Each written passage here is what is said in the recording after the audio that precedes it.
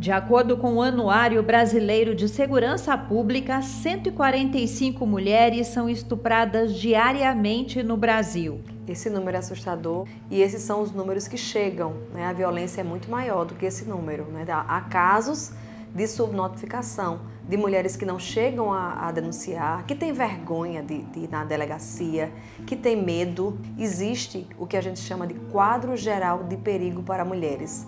É o que a Corte Interamericana de Direitos Humanos falou. Disse, olha, existe um, uma situação de perigo geral para mulheres que o país tem que ter a devida diligência. Ele tem que agir antecipadamente, ele não tem que esperar os casos. Os casos vão vir. No Rio Grande do Norte, de janeiro a julho deste ano, foram registrados 312 estupros. Em 2021, 299. De um período para outro, houve aumento de 4,2%, ou seja, 13 registros a mais, segundo dados da Coordenadoria de Informações Estatísticas e Análises Criminais do RN.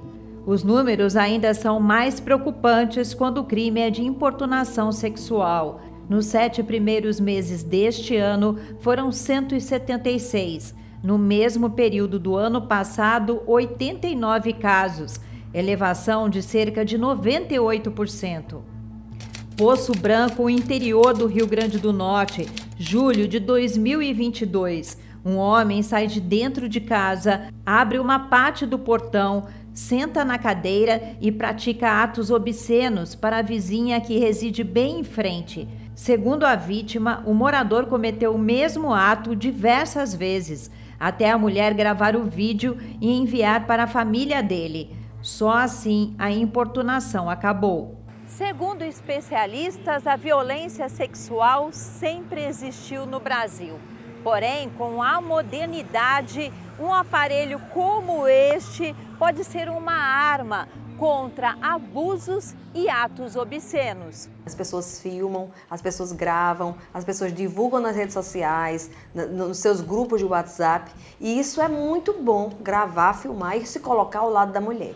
Então, é, foi-se o tempo em que as pessoas viam e não faziam nada, não queriam é, meter a colher. A exposição de fotos e vídeos íntimos também é um crime. O Código Penal prevê, por exemplo, que quando é, existe dentro do, da intimidade o registro de cena de nudez, de cena de ato sexual e a vítima é, não autoriza esse registro, é considerado crime. Não importa o sexo, feminino, masculino, LGBTQIA, a violência sexual atinge todas as classes.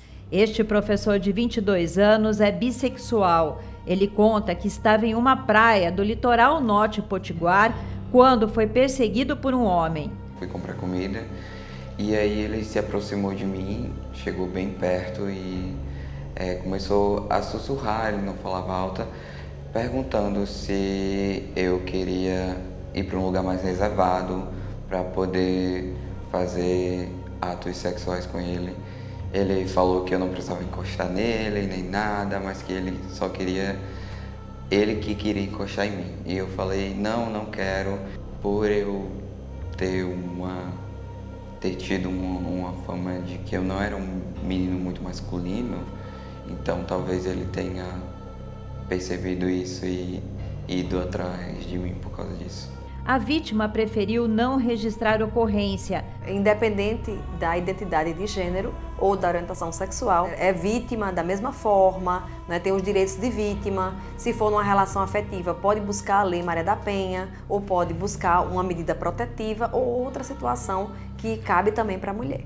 A violência sexual é um ato cruel. A vítima não sente apenas a dor física, tem a dor da alma o abuso pode durar poucos minutos, mas é o suficiente para permanecer na mente por uma vida inteira.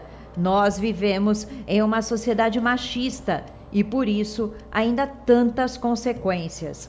O homem que tem que ter muitas mulheres, tem que trocar de namorado, vai pegar muitas meninas, vai, vai fazer acontecer, ele é viril. Né? Então, essa, essa masculinidade, isso é uma, um fator né, de, de socialização. Os meninos são socializados assim são, são criados dessa forma, com dispositivos que alimentam essa sexualidade, de, de predadora, o cabra macho, né? Isso é organizado em torno da virilidade e, e também da autorização para o uso da violência.